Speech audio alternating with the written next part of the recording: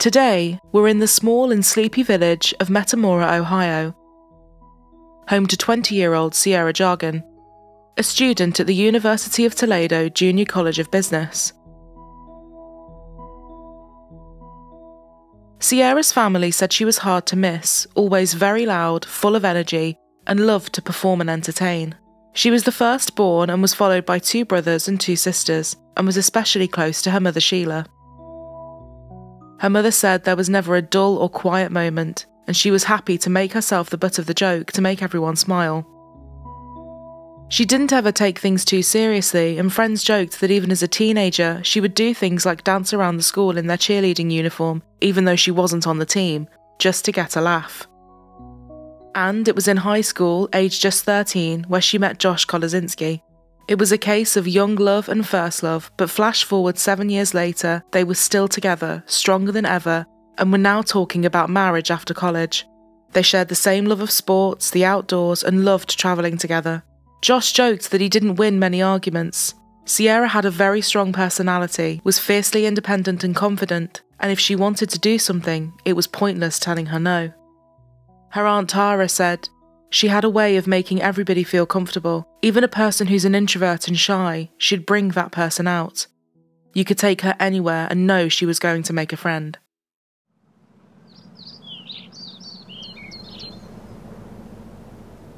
July 19th, 2016, 6:30 p.m.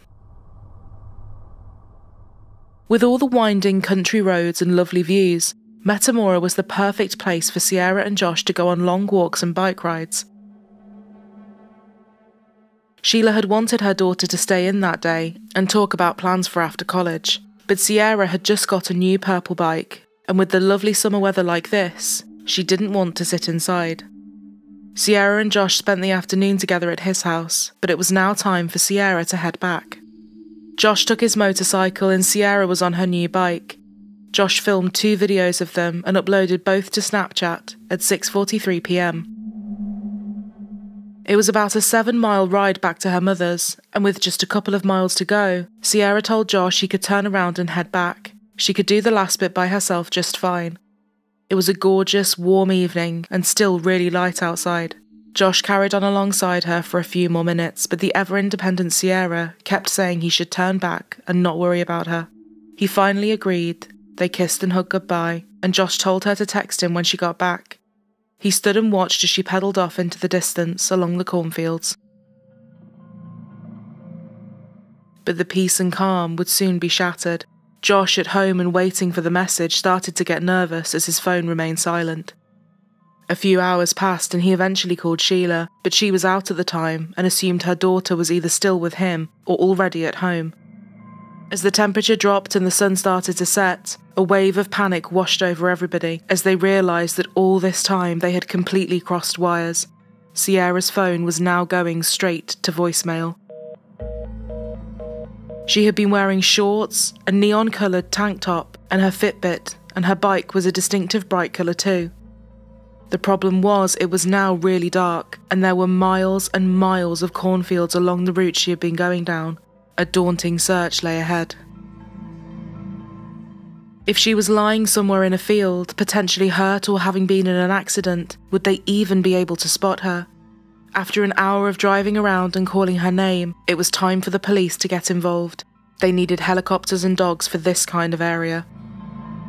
At 11pm, a missing persons report was filed, and by 3am, everybody was out looking for her shining their torches around vast, dark fields where everything looked the same for as far as the eye could see, was seeming really hopeless.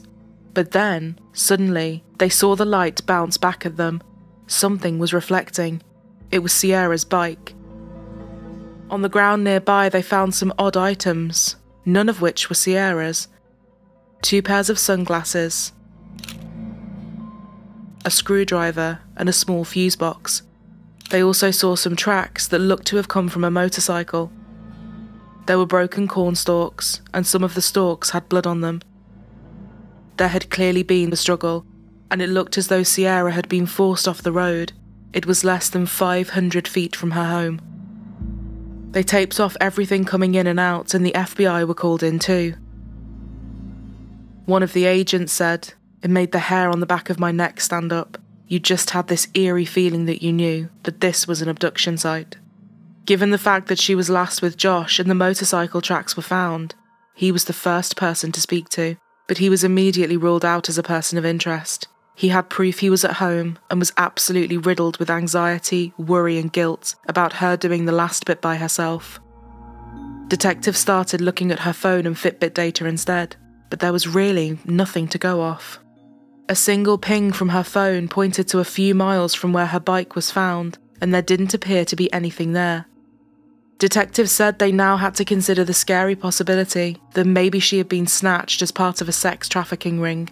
Areas just outside of Metamora had been known for cases like this, with young women being abducted and later found as far out as Las Vegas, thousands of miles away.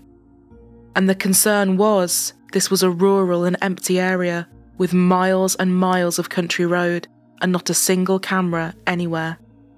If she had been abducted hours beforehand, she could be hundreds of miles away by now, with no technology to track her. As her family watched as the tape started to cover the roads, police said they couldn't tell them anything. They were keeping what they had found near her bike under wraps, so all her family could do was carry on making calls to Sierah's friends, classmates, and the local hospital, praying that at some point someone would pick up and give them the answer they wanted. She was fine, her phone battery had simply died, and everything could all be easily explained. Police then got a call from one of the locals. On the night Sierah had gone missing, he had been driving with his son when he spotted a black motorcycle helmet in the road. He thought nothing of it, but threw it into the back of the truck. Now he wondered if it could be connected. A closer look showed there was blood on the helmet, and it was sent away for testing. It was now 48 hours into the search, and an increased reward of $100,000 was being offered for any information. Investigators were going door to door, which in an area like this wasn't actually taking much time, due to the fact it was mainly farmhouses and not that many of them. They soon came across a dilapidated old property with a couple of barns attached, sitting on an acre of land. It was home to 57 year old James Worley, who ran a repair shop from there with his brother and, until recently, their late mother. James opened the door, and it was instantly obvious that this was an inconvenience for him, and he wasn't happy to stand around and chat. He was argumentative and abrasive. I know we just kind of showed up, so we. Well, yeah, you kind of showed up. it's a bad reason that you're here, obviously. It's- yeah. I do the best I can each day with what I got, which ain't much. But I'm not out there stealing chicks, robbing chicks, stealing people. They asked him where he was on the night Sierah went missing, and, to their surprise, he admitted to being in that exact area. He said his motorbike had broken down, and it just so happened to be where Sierah's bike was. He said he debated on using it to get home, but decided against it and instead pushed his all the way back. He said on the way he dropped his helmet, his screwdriver, and the fuse box, but he definitely hadn't seen Sierah anywhere in that area. One detective said it was such a wild story that he had to stop his jaw from falling open. None of the items they found at the scene had been made public up until this point either. One thing was for sure though, he had just placed himself right at the very spot, and no matter how hard he tried to spin his reasoning for being there, it just didn't make sense. But this wasn't enough for them to get a search or arrest warrant, so they had to leave. James's neighbours had little good to say about him. He had a very intimidating presence and made people feel uncomfortable. He always paid close attention to younger girls, and families did not like their children playing near his home.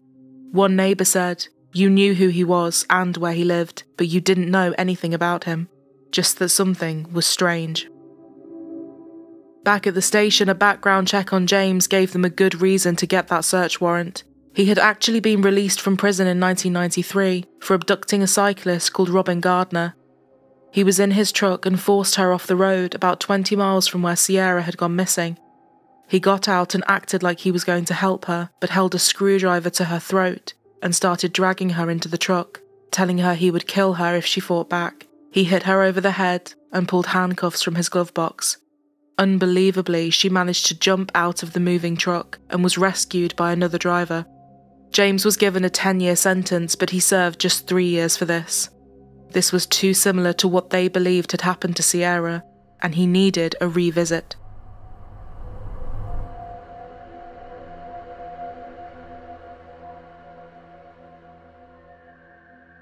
Back at his house, they wanted to look around the barns. In the one furthest away from the house, they saw a green crate on the ground, which had been covered by stacks of hay bales. Inside the crate was bags and bags of women's underwear and clothing which he had labelled up. Some had blood on them.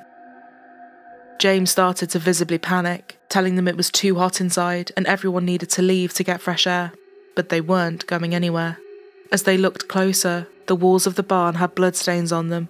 They found handcuffs, zip ties, rolls of duct tape, rope, weapons, and masks, more of which was later found in his truck. There were cameras hidden around the barn too, and a blood-stained mattress. A piece of plywood was stacked against the wall, and when they pulled it back, it was covering a hole in the ground. It was actually a freezer that had been buried in the ground. It was lined with a blood-stained carpet, and there was an intense smell of chemicals coming from inside it. This barn was, put simply, a torture chamber, a house of horrors. James's answer to all of this? At first, he said the underwear and other things were probably left by an ex girlfriend. Then he told them he was trying to set up a production company to shoot X rated films, and this was his set. As the officer stared at him in disbelief, James blurted out, I've been around the block. Would I leave any evidence whatsoever to be found? There wasn't a chance that any of what he said or what they found was going to fly, and detectives placed him in handcuffs. They definitely now had probable cause, and he was arrested on suspicion of the abduction of Sierah. In the main house, they found a letter he had written to his court appointed therapist, saying he had learned a lesson from each abduction, and the next person he did it to, he would bury.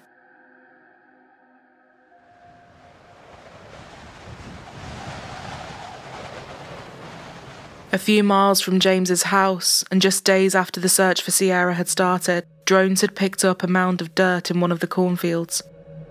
It looked like a freshly dug hole that had been covered over. Cadaver dogs reacted very quickly, and they just knew the search for Sierah Joughin had now come to a very sad end. She had been buried in a shallow grave, hogtied, with her wrists handcuffed and her ankles tied with rope and bound to her hands. She was wearing a diaper and had died of asphyxiation over several minutes after choking to death on a plastic gag, which was still inside her mouth. It had been forced in so hard, it broke a tooth.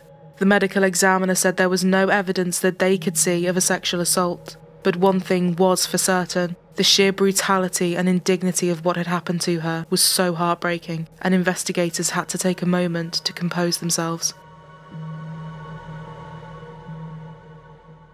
As the phone rang Sierah's family late that night, Sheila said they all took a breath before Sierah's dad answered.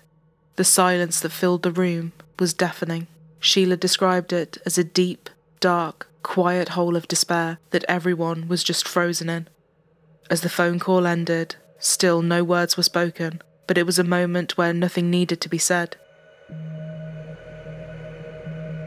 20 year old Sierah Joughin went missing Tuesday night during a bike ride. The Fulton County Sheriff says authorities located the body in an area around County Road 7 Friday night. Positive identification will be made through either fingerprints or DNA, but at this time, we strongly believe that this is Sierah. Local, state, and federal investigators searched the grounds and ponds in that area, including the nearby home and barn of the suspect, James Worley, who is currently charged with abduction. Their only suspect in her abduction and now murder had not changed. 57 year old James Worley was fortunately still in custody. The all important forensics were now coming back in, and as well as phone records placing James in the area that she went missing from at the time she did, the mattress in his barn, some rope, duct tape, and the motorcycle helmet were all covered in both his and Sierah's DNA. His recent internet searches were of pornography, specifically searching the terms hitchhiker, helpless, gag, rape, and hogtied. James Worley was charged with 19 counts. including murder, abduction, tampering with evidence, and abuse of a corpse. He was held without bail and pleaded not guilty to every single charge. The investigators' theory was this using his phone data, they could place him right near where she had been riding with Josh. They believed that he had followed her for a while after he saw them separate, pulled over on his motorbike, and hit her over the head with his helmet. He dragged her into the cornfield, possibly threatening her with the screwdriver, the same as he had done with Robin, then tied her up. He then called his brother to get a lift back to the house to get his van, telling him there was something wrong with his bike. He then drove back in his van alone and took her back to the barn. What happened next is not really known, but we can all agree it does not bear thinking about.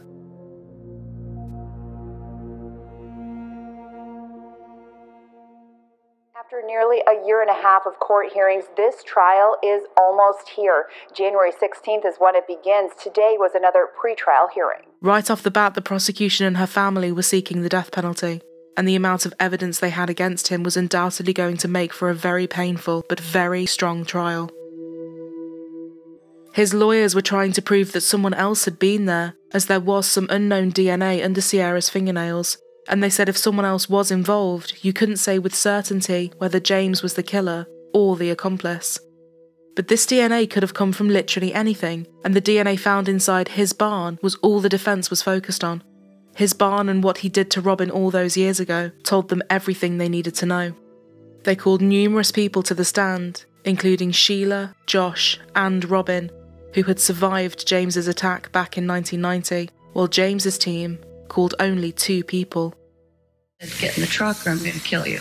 The harrowing testimony of Robin Gardner, a woman abducted by James Worley in 1990. Gardner didn't want her face shown, but recounted the details of July 4th, 1990. Didn't fight, but I struggled to get away and begged to get away. Members of the Fulton County Sheriff's Office, along with investigators from the Bureau of Criminal Investigation, testified to finding a cornfield Sierah was abducted from, showing the jury blood-stained evidence they collected like Sierah's sock and bike. And images of how Sierah was found in that grave brought a BCI investigator to tears. She's got straw in her hair. You got a brassiere, like a lace color brassiere, handcuffs, a rope, and an adult hyper. But while these items, along with a long list of pornographic movies found on Worley's computer, were entered into evidence, the defense painted a different picture of the defendant. Worley's longtime friend testified Worley was interested in starting up a porn studio to generate money. Okay, so he was going to run it as an LLC, Something, yeah. No. something like that. Right. Run it as a business, not as a hobby. Yeah. His lawyers described him as a very damaged man with many mental health issues, and implied at one point he had even had an incestuous relationship with his mother before her death. While the prosecution agreed he was undoubtedly a very sick individual, they said there was no evidence for the story about his mother being true. James's own sister testified and said that he was a suspect in at least three murders and missing persons cases too, although nothing was ever proven in these. One was the case of 14 year old Laurie Ann Hill from the 80s, which had sadly since gone cold, and Claudia Tinsley, who James admitted to being in a car with the very night she went missing. After six hours of back and forth, the jury reached their verdict. We, the jury, unanimously agree the aggravating circumstances committed by the defendant outweigh the mitigating factors beyond a reasonable doubt, and hereby unanimously find the defendant should be sentenced to death. I will now need to uh, poll the jurors. James Worley was found guilty of murder and a total of 17 of the 19 charges. They recommended the death penalty, but his lawyers were hoping for life in prison. They called a criminal psychologist who suggested the attack was motivated by sexual sadism connected with a fetish disorder and diagnosed him with sexual paraphilia disorder. During his sentencing, James went on a 40 minute long rant claiming he wasn't her killer and that he'd been framed. Their hearts are wounded, and they always will be. But if you believe like I, I believe that Sierah goes on. She may have been murdered and victimized, but she goes on. At one point, he even said, Don't ask me why she wasn't raped. She was a beautiful girl. But she wasn't, and I'm glad. her poor family could listen to no more and left the courtroom. Aggravated murder of Sierah Joughin outweighs any and all mitigating factors beyond a reasonable doubt. The court therefore accepts the recommendation of the jury. The court orders that James D. Worley is hereby sentenced to death for the aggravated murder of Sierah Joughin. The court orders that the execution date of James D. Worley be set for June 3, 2019, to be carried out by the appropriate authorities. Uh, the court typically concludes this case by having a few comments. I have been told uh, by my brethren who handled these cases that that is inappropriate here. Uh, suffice it to say, Mr. Worley, I think you would have been well advised to listen to your attorneys before you made your statement. I thought your attorneys did an excellent job in handling your defense. And one further comment, Mr. Worley, if I thought there was a snowball's chance in hell that you were innocent, you'd be looking at life. Court's in recess. All right.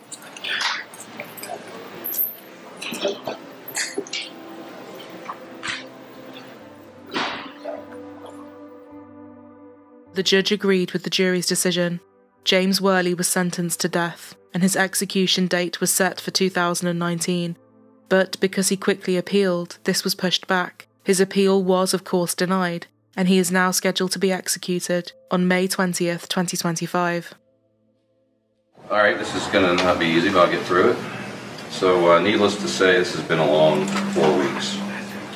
Having to sit through the detailed testimony, piles of evidence, and the learning of what this killer and past violent offender, which is really important to us, past violent offender, did to our beautiful Sierah was gut wrenching.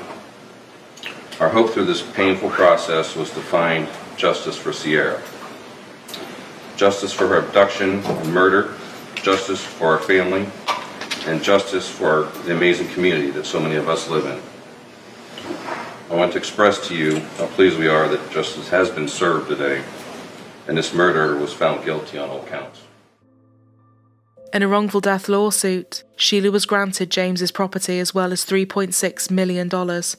She said she knew she would probably never see a single cent of that. However, his property was now hers, and this was far more important. She decided it needed to be torn down. I'm not going to lie, there is an emotional gratification in tearing down and burning something you loathe so much. We look forward to removing the darkness and opening it up and letting the light shine in, she said. She hopes the land can become something positive in Sierah's memory, rather than a reminder of what happened there. Police also continue to look at the surrounding area for anything else that could lead them to more information and possibly more victims of James. December 2018 witnessed the unanimous passing of Sierah's Law, Ohio Senate Bill 231. The law established a database which is accessible to both law enforcement and members of the public and enables them to identify the presence of violent offenders in their neighbourhoods. It also allows police to interview potential suspects within the first 24 to 48 hours after a person is reported missing. By 2021, more than 2,000 offenders were registered in the database. And a question that still remains to this day was Did James have any other victims as well as Robin and Sierah? Police believe, yes, he did. They continue to look into his background, cold cases, and any claims made against him. Robin said, I don't think anybody like him can go 26 years without doing what he did because you don't just do it and then suppress it and then do it again. For a logical, normal, sane person, that just doesn't make sense. I know his strength and anger. Authorities said you only had to look at his property to realise that place had been designed to kidnap, hold, and assault multiple women without anybody hearing to find them. As well as huge changes in the law, Sierah's hometown remembers her and celebrates her life with every year that passes. A memorial plaque and tree sits at Sierah's old school, Evergreen High School, and they now offer a scholarship in her name too. Justice for Sierah was set up by her family and is a non profit organisation which provides self defence training courses for schools and educates the public on safety. Her boyfriend Josh also threw himself into campaigning and founded Keeping Our Girls Safe, which also gives classes and works with first responders. The community holds an annual 5k race in Sierah's name every year called Jogging for Joughin. and hundreds of riders will make the 40 mile drive for the Sierah Joughin Memorial Motorcycle Ride. The thought of what happened to Sierah and what she went through in her last moments is enough to make you feel as sick as it does sad. The pain is excruciating and the depth of emptiness we feel is unexplainable, Sierah's Aunt Tara said. However, I want him to know this. It may seem that he has broken us, but we as a family are stronger than he thinks, and because we were lucky enough to have had Sierah's love, we are unbreakable. Sheila said of her daughter, Sierah's life was worth far more than the 20 years she was able to live.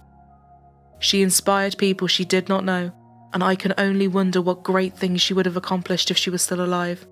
But in her death, I know she's moving mountains.